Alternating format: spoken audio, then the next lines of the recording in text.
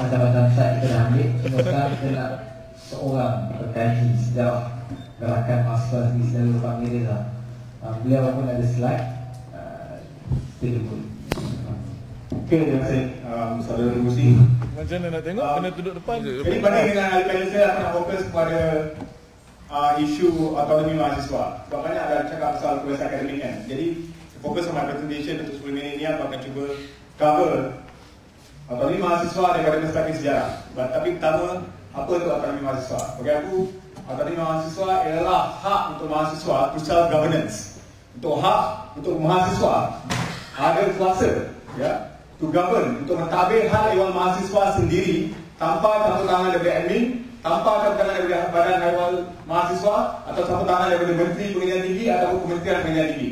Ya. Itu autonomi mahasiswa. Adakah mustahil?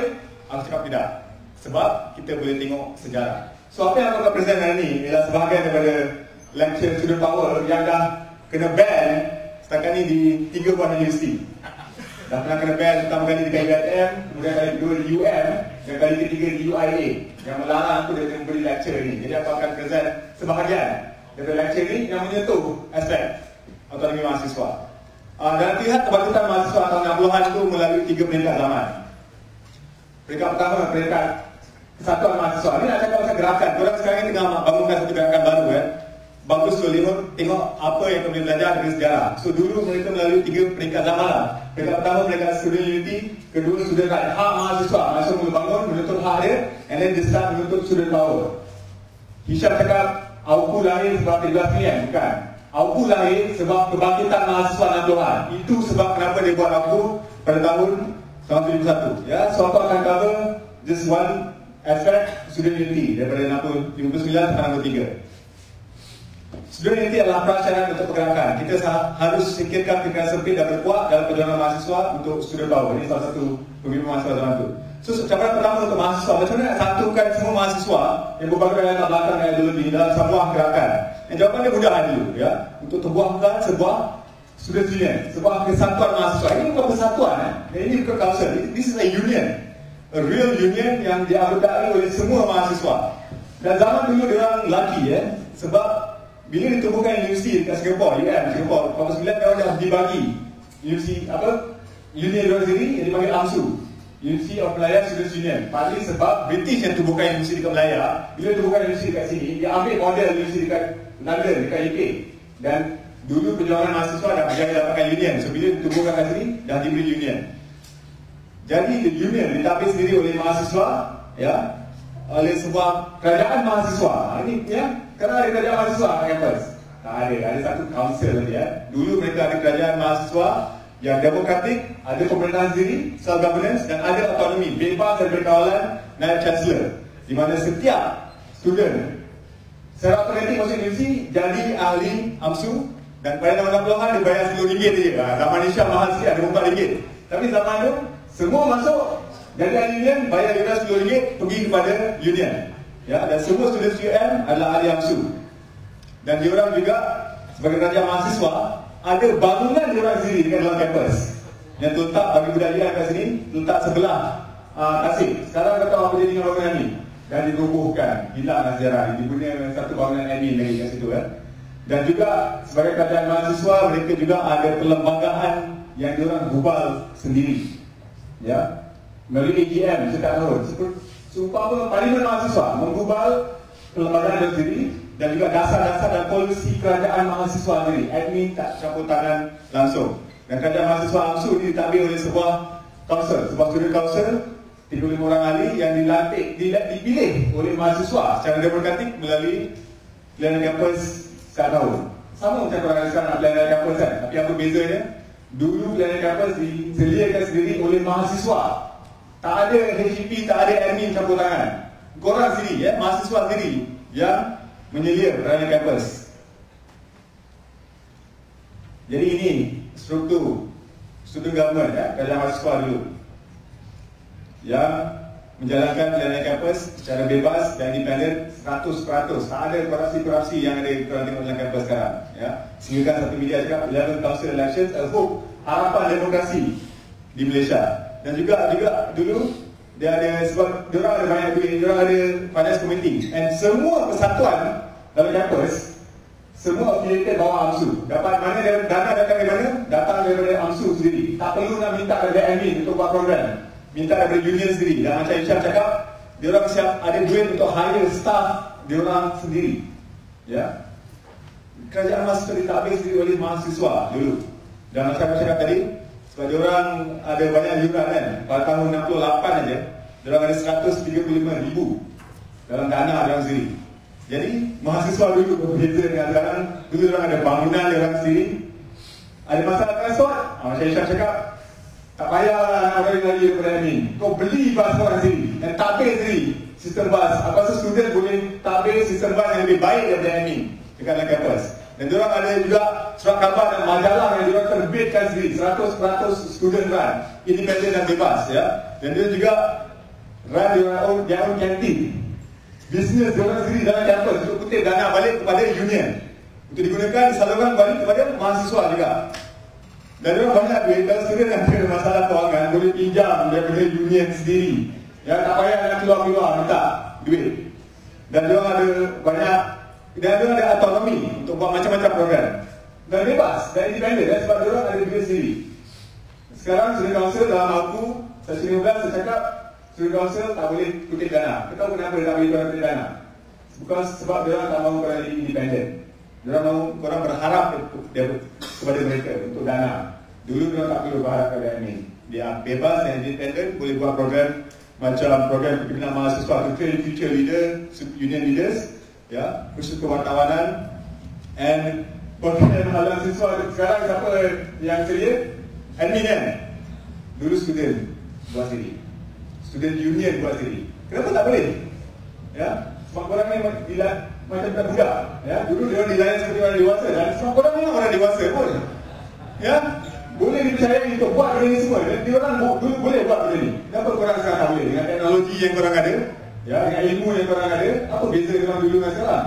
Tak ada beza kan? Cuma korang sekarang macam budak-budak. Ya. Dan dulu dia orang ada macam-macam program lain lah. Biasa ada kebajikan. Salah satu program yang sangat popular ialah debat ekonomi.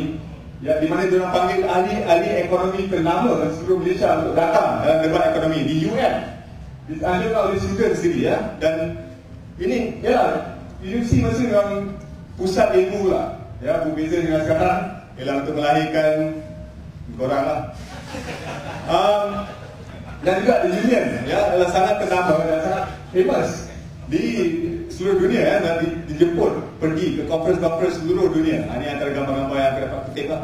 Filipina, Kamboja, India, Mesir to contact, to link up with other student unions and student movement uh, throughout the world ya. Jerman Rusia ya dan sebab UM dulu ya salah satu universiti yang Abdullah seluruh gerakan mahasiswa tertumpu dekat UM adalah menjadi dasar AMSU untuk mempertahankan hak mahasiswa menegakkan pemerintahan mahasiswa yang demokratik serta menggembelingkan tenaga untuk kepentingan negara. Kalau dalam kampus dalam ada union di AMSU ya, dekat mereka kebangsaan mereka ada NEMS National Union of Malaysian Students. Sebuah union mahasiswa mereka kebangsaan yang menyatukan semua student mahasiswa pada zaman walaupun UM adalah satu universiti tapi dah ada college justru college pertanian sedang.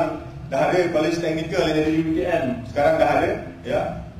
Dan it was the union. Yang sekarang korang tak ada. Kau tahu apa yang dibuat masa dia dibuat aku tahun 71 tak sudah tak boleh terbuka union. Hanya boleh ada majlis. Kenapa? Dia takutkan ini. Sebab bila mahasiswa bersatu korang akan jadi kuasa yang bisa membuka tahun 64 dia cuba ya. Ada satu benda yang dipanggil sijil kelayangan dia pindah ISA untuk letak satu baru yang mewajibkan semua student yang nak masuk universiti kena dapatkan sijil kelayangan daripada SB kau tahu apa respon daripada mahasiswa? Cakap apa? Akta ini melanggar semangat otonomi universiti dan kebebasan akademik dan kebebasan berdiskusi dan berfikir yang sangat penting dalam universiti ini. 500 orang student ya telah berdemonstrasi dengan bawah keranda matinya otonomi universiti dan kebebasan mahasiswa ya masa mereka sedar ya perlunya diorang bersatu untuk mempertahankan atau universiti yang diorang ada dan mempertahankan kebebasan akademik yang memang diorang enjoy. Ya, so apa ada lagi? Ada masa lagi kan? Okey, aku boleh teruskan sambung sikit lah ya. Once, so cabaran pertama ialah bagaimana menentukan mahasiswa. through a union. Sebuah kesatuan mahasiswa yang memperjuangkan hak mahasiswa ya. So they go through a second stage. Once they have unity, they go through how to macam mana nak mempertahankan hak yang ada dan expand juga hak yang sepatutnya milik mahasiswa. Mahasiswa perlu berjuang untuk mempertahankan hak yang sepatutnya kita miliki dalam Malaysia ini. Universiti tak boleh wujud tanpa mahasiswa.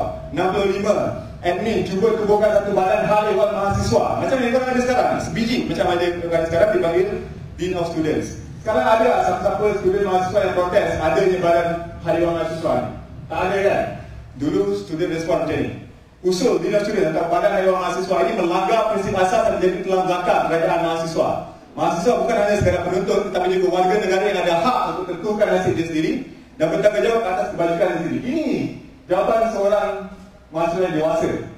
Ya. Yang korang sepatutnya sekarang ini dah dewasa dah, bukan budak-budak lagi, ya. And student respondent, ya. 1300 mahasiswa daripada 5000 orang student telah sign petition untuk menolak badan DCP ini dan diorang berjaya untuk menolak benda ini dapat dijalankan terus. Mula sedar, okey aku fast forward lah. Ini menarik kat sekarang ni. Walaupun dia ada absurd eh, tapi dia orang bilang sudah ada satu kelab politik untuk membincangkan isu-isu politik, satu wadah politik dalam kampus. Tapi masalah yang dulu dia kena daftar dua kali. Sekali dengan Board of Student Welfare, second daripada Register of Society di keluar. Students right, ya. Yeah. In 1964, they try to form their first political dalam kampus, Pantai Forum, tapi pendaftarannya ditolak. 65, again they try, ya, untuk tumbuhkan kelab progresif, the first political dalam kampus untuk bincang platform mahasiswa untuk bincangkan isu politik, again pendaftaran ditolak.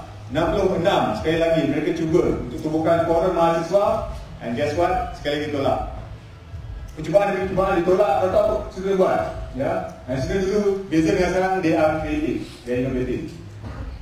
Kalau tak boleh tumbuhkan satu kelab yang formal satu badan yang formal we do it informally. And you know what they did? Tak payah tunggu menteri untuk suggest. Mahasiswa tumbuhkan sudah pidato speaker corner. Ini sejarah speaker corner. Bukan timbalan menteri yang cadang untuk tumbuhkan sirkular Datang dari mahasiswa sini. Datang dari bawah sini mahasiswa Keperluan mahasiswa untuk ada satu platform Satu wadah di mana mereka bebas Untuk membincangkan hal politik dan apa-apa saja hal ya. Dan so, kalau so, so, apa saya berhenti sini ya, kalau aku, aku boleh go through lagi, ada panjang lagi. But this is a part of my lecture, Sudut Power, di mana lagi satu aspek juga yang menarik ialah mahasiswa dulu budaya intelektual tu memang wujud dalam kampus. Partly because sebab kebebasan dan autonomi yang diorang ada untuk menganjurkan program jawab sendiri tanpa campur tangan dan ini. Bukan macam sudah nak jemput aku bagi sudah tahu lecture dekat kampus ditolak. Ditolak, ditolak. Sebab apa? Sebab ini bikin orang ini budak-budak yang perlu dilindungi daripada ilmu. Ya, Tapi dulu ya, mahasiswa bebas untuk panggil siapa saja untuk masuk kampus. Dia pernah panggil Mahathir masuk kampus, Musa Hitam juga pernah masuk. K. Johani mungkin pelajaran itu pernah dijemput juga dalam debat dalam kampus. Tapi dia tak jemput kerajaan dia, pembakar pun masuk juga. ya.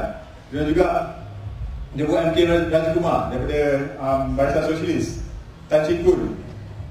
Devan Ngai daripada DAP, PAP. Lim Kim Siang juga, ya, muda lagi masuk.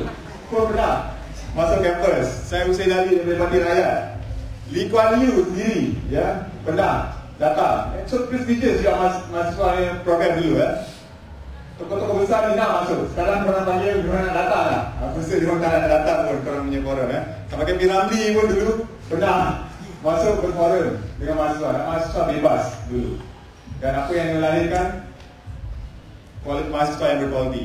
Dan macam saya cakap, bukan macam orang sekarang So aku berhenti kat situ dulu Terima kasih